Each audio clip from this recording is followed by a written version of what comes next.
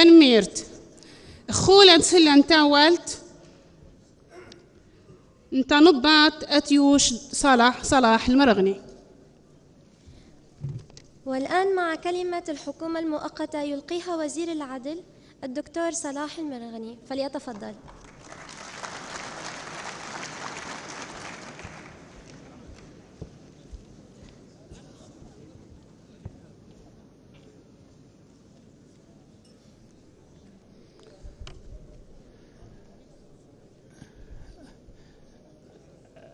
السيد رئيس المؤتمر الوطني العام السيد نائب الرئيس السادة الوزراء السادة والسيدات أعضاء المؤتمر الوطني العام السادة والسيدات أعضاء السلك الدبلوماسي والقنصلي السادة الضيوف الكرام السلام عليكم ورحمة الله وبركاته. أزول فلاون. أهلا بكم. الحمد لله. أننا نجلس اليوم لنحتفل وننظر فيما كان من المحرمات في ليبيا الجديدة ليبيا الحرة ليبيا إن شاء الله. دولة القانون والعدالة وحقوق الإنسان. الدولة التي ستكون إن شاء الله خالية من الانتهاكات خالية من المثالب. الدولة التي يأخذ كل ذي حق فيها حقه إن شاء الله.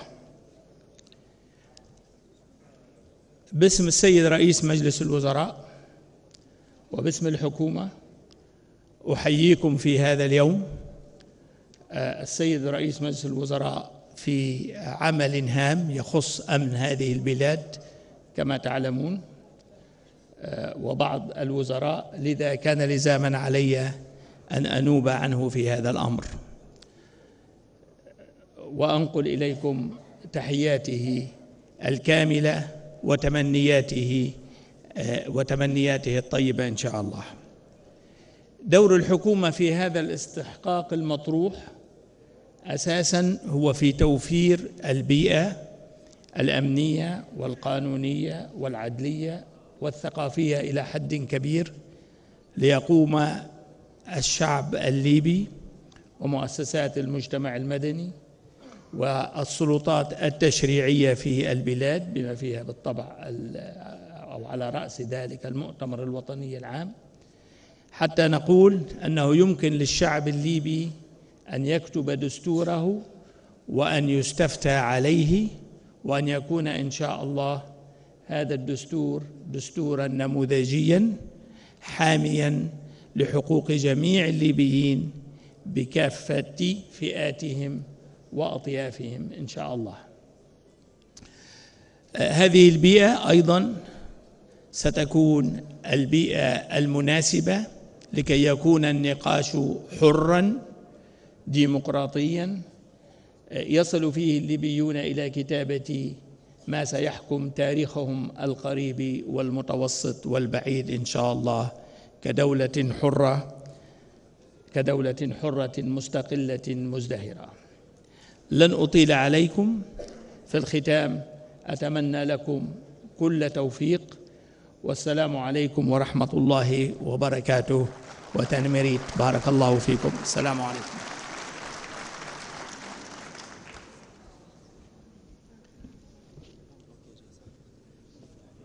تنميرت. بعد ما نسغدو أن تولت نغلف نزرف أن سلطورو أن نغلف أنت دلسا التوش تسلمادت عواطف الطشاني. والآن مع كلمة وزارة الثقافة تلقيها وكيلة الوزارة الدكتورة عواطف الطشاني.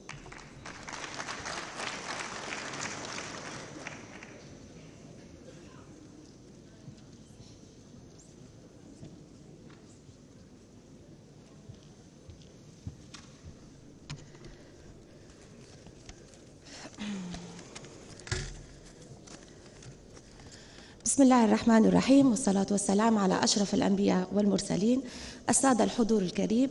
أحييكم تحية طيبة من عند الله مباركة فالسلام عليكم ورحمة الله تعالى وبركاته. الزول في الله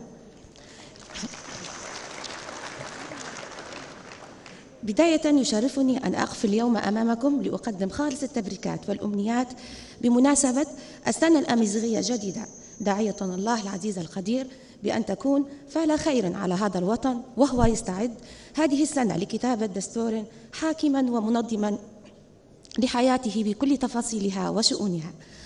ومن المؤكد أن هذا الملتقى لا يشير إلى شيء بقدر إشارته لعمق نتائج ثورة السابع عشر من فبراير المجيدة التي جعلت أمر النقاش بين الليبيين في كل القضايا متاحا وخصبا. بما يعزز مقاربتنا الوطنية بقيم الديمقراطية والمجتمع المدني الحديث.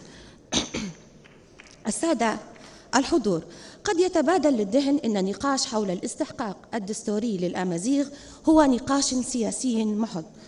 يعكس طبيعة الصراع وماهية القوى السياسية والثقافية وتطلعاتها وهذا أمر قد يصح بشكل أو بآخر.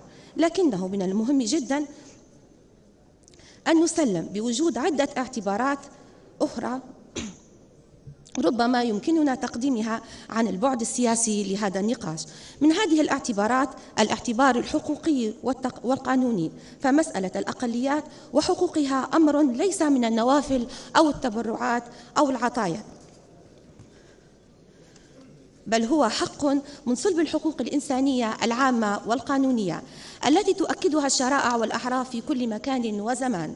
كما إن هناك الاعتبار الوطني والتاريخي فمن يتأمل تاريخنا يدرك تماما مدى التشاركية الوطنية الدائمة بين الأمازيغ وغيرهم من مكونات هذا الوطن في النضال من أجل الحرية ومن أجل بناء الدولة.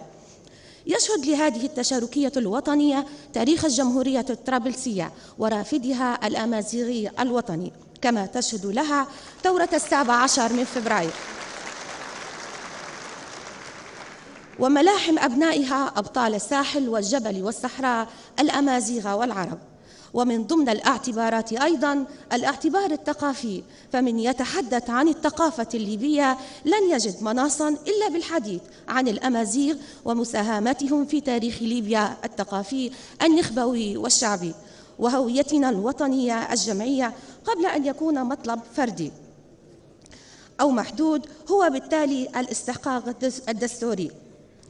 أيها الأخوة إن الاستحقاق الدستوري عندما يضمن حقوق الفئات المختلفة من المجتمع الواحد يكون انعكاسا للرقي والحداثة والمدنية ويبين قدرة المجتمع على دمج اختلافاته ضمن قالب متنوع ومنتج. كما إنه ومن باب خصوصية التوقيت فالاستحقاق الدستوري للأمازيغ هو تجسيدا حقيقيا للديمقراطية الجديدة في ليبيا. أخيرا أخيرا نأمل أن يضمن نقاشكم وحواركم, وحواركم حول هذا الاستحقاق أفاق جديدة لتوافق وطني أوسع وتكامل تضامني أقوى. يعزز من زخم التعددية وتقبل الآخر مختلف, مختلف كان أو متشابها. أجدد لكم التهاني بهذه المناسبة بهذه المناسبة وهي إطلالة السنة الأمازيغية الجديدة ودمتم فخرا لليبيا والسلام عليكم ورحمة الله تعالى وبركاته.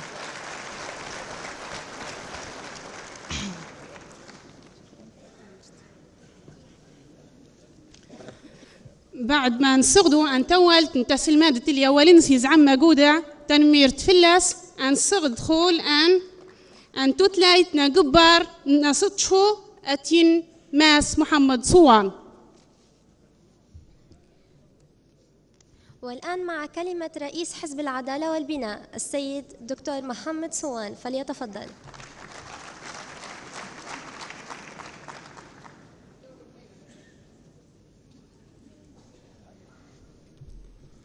بسم الله الرحمن الرحيم.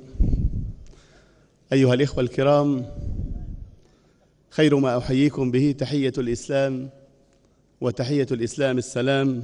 فالسلام عليكم ورحمة الله.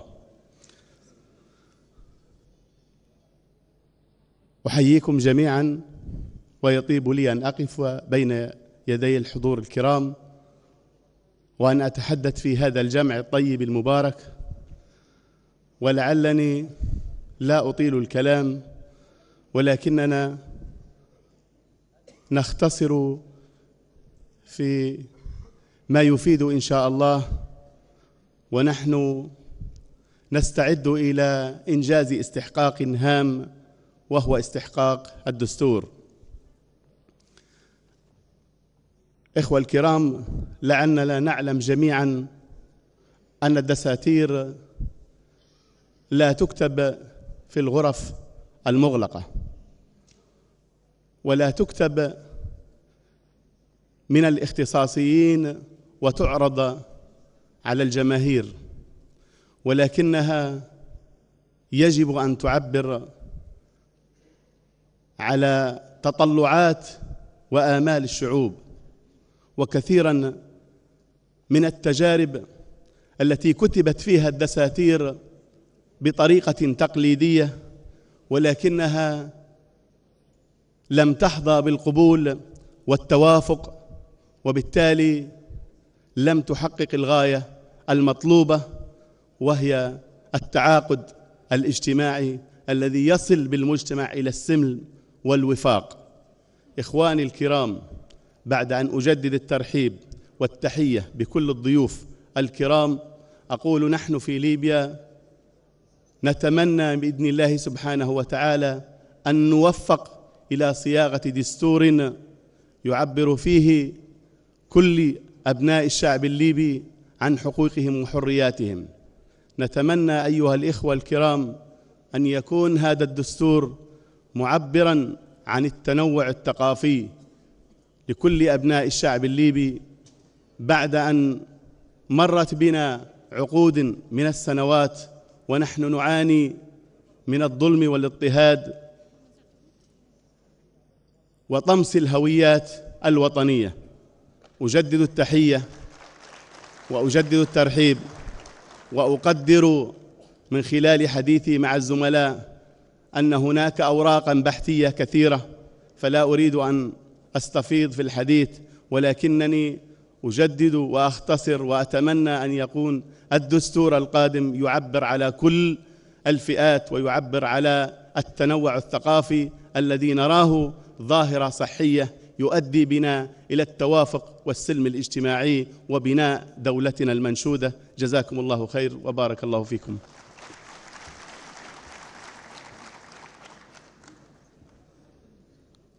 تنميرت أفماس محمد.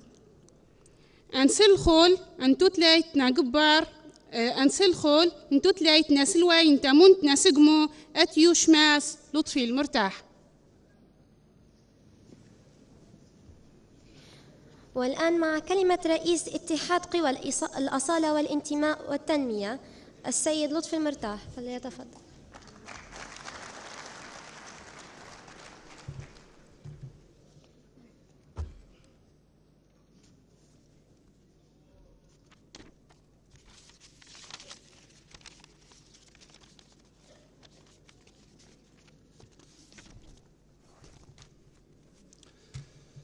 بسم الله والصلاة والسلام على رسول الله وعلى من اتبع هداه. بداية أحييكم بتحية الإسلام. السلام عليكم ورحمة الله وبركاته. كما أحييكم بتحية الأصالة والانتماء عبر الزمن التاريخي لأقول لكم الزول في اللون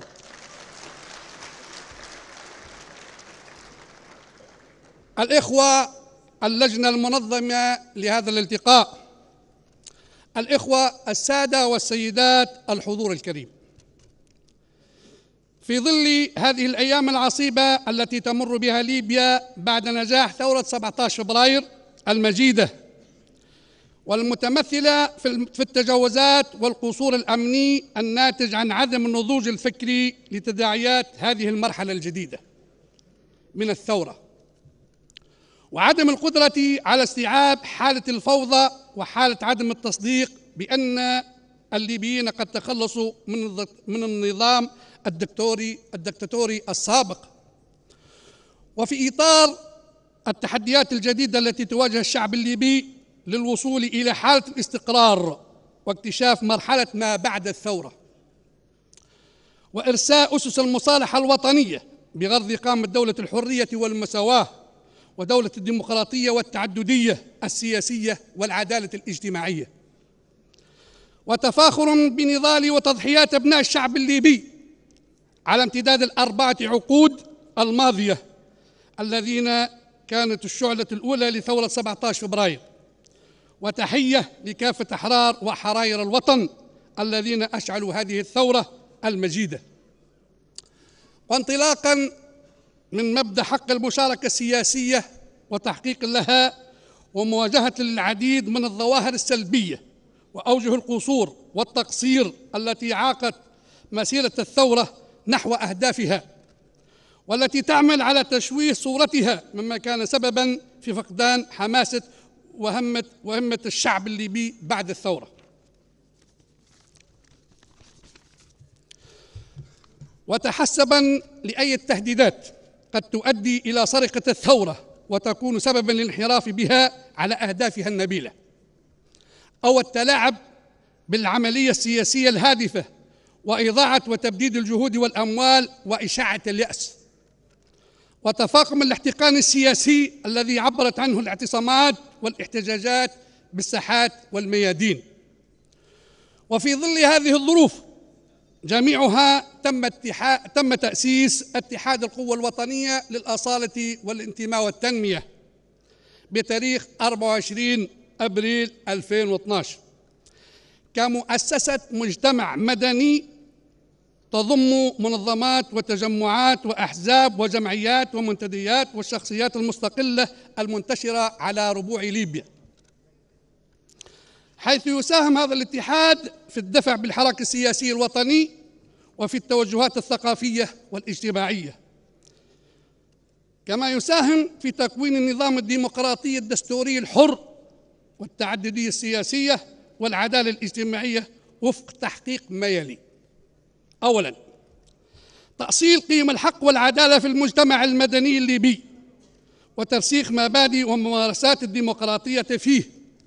مع ضمان كافة الحريات لجميع المواطنين. ثانيا تحديد مفهوم الهوية الليبية بالاستناد على مبدأ الأصالة ذات ذات الجذور التاريخية العميقة لمعظم مكونات الشعب الليبي. وعلى مبدأ الانتماء العميق للوطن بالإضافة إلى العمل على حماية وحفظ الموروث التاريخي والثقافي الليبي. ثالثا التوظيف الشامل لجميع الإمكانيات والموارد البشرية والطبيعية المتوفرة بليبيا بالشكل الذي ينعكس إيجابا على فئات وطوائف الشعب الليبي والمخططات التنموية. أن اتحاد القوى الوطنية للأصالة والانتماء والتنمية هو مسعى لكل أبناء الشعب الليبي ذو الأصول العريقة والانتماء للوطن للوطن ليبيا لأنه يجسد أمانيهم ويستوعب كافة طاقاتهم وإمكانياتهم. ولهذا فمن خلال وثيقة اتحاد القوى الوطنية للأصالة والانتماء والتنمية وحرصا على المشاركة في صياغة دستور جديد لليبيا وعلى أساس من التوافق الوطني ليكون منسجما مع الهوية الثقافية للشعب الليبي ومحقق لآماله وتطلعاته. وحيث أن الدستور يعتبر القانون الأعلى للبلاد ومحاط بمجموعة من الضوابط التي تضمن انعقاد الإرادة العامة لجميع مكونات الشعب الليبي المتنوعة دون تمييز أو إقصاء أو تهميش لأي فئة منه والتعبير السليم عنها. ومن منطلق مبادئ العقيدة الإسلامية السمحاء التي تربط الليبيين جميعهم بروابط أو برباط الإخوة والتقوى. أو برباط الأخوة والتقوى. وبناء على ما ورد في مشروع خارطة الطريق المقدمة في مارس 2011 من قبل لجنة الشؤون السياسية والعلاقات الدولية بالمجلس الوطني الانتقالي الليبي المؤقت وما ورد بالبند رقم ستة بمبدأ الديمقراطية السياسية. وحول المشاركة السياسية لجميع ألوان أو لجميع ألوان وأطياف الشعب الليبي وبالبند رقم أربعة بمبدأ الربط بين الديمقراطية وقيم العدالة الاجتماعية حول احترام حقوق الإنسان وحقوق الأقليات. واستنادا على ما جاء في الإعلان الدستوري المؤقت الصادر عن المجلس الوطني الانتقالي الليبي بتاريخ 3 أغسطس 2011 والذي حدد فيه أو حدد فيه أسس النظام الديمقراطي الحر والمساواة والتعددية السياسية والعدالة الاجتماعية بليبيا. وتأسيسا على أن تكون ليبيا لكل الليبيين دولة حرة تنعم بالسيادة والسلام والأمن والعدل. وفي إطار حقيقة الموروث الثقافي الذي ساهم جميع الليبيين في إثرائه والمحافظة عليه عبر العصور والأزمنة والذي يجب أن يكون أساسا لحاضرنا ومستقبلنا. فإن الاتحاد يؤكد على أن الدولة المدنية الدستورية ليست شكلا مجردا وإنما مضمونا يساهم في تقدم المجتمع بكل مكوناته وقومياته وثقافاته. ويقرر ويؤكد إن اللغة الأمازيغية هي لغة الرسمية جنب إلى جنب مع الثقافة العربية في الدستور الليبي الجديد.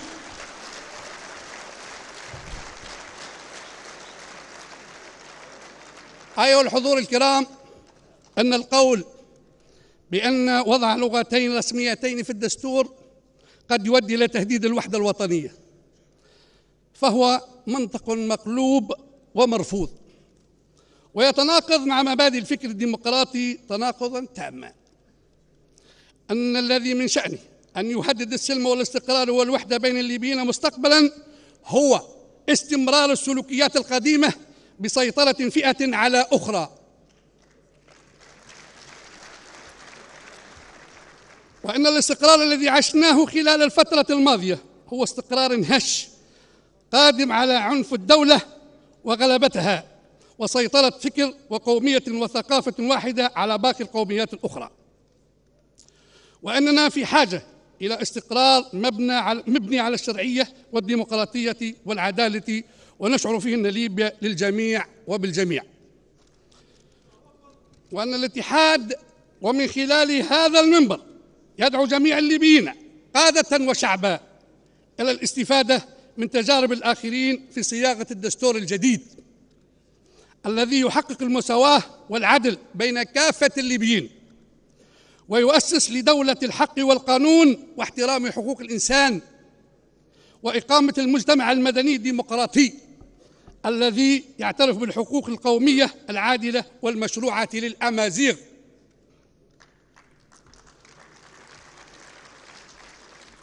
والابتعاد عن التمييز بين السكان وبذل الجهد من أجل ضمان العدالة الاجتماعية وتحقيق التنمية الوطنية والاقتصادية والبشرية. أشكركم على حسن الاستماع. كما أتقدم بالشكر والتقدير على حفاوة الاستقبال للأجنة المشرفة والشكر موصول أيضا لكم أيها السادة الحضور. كل عام وأنتم بخير.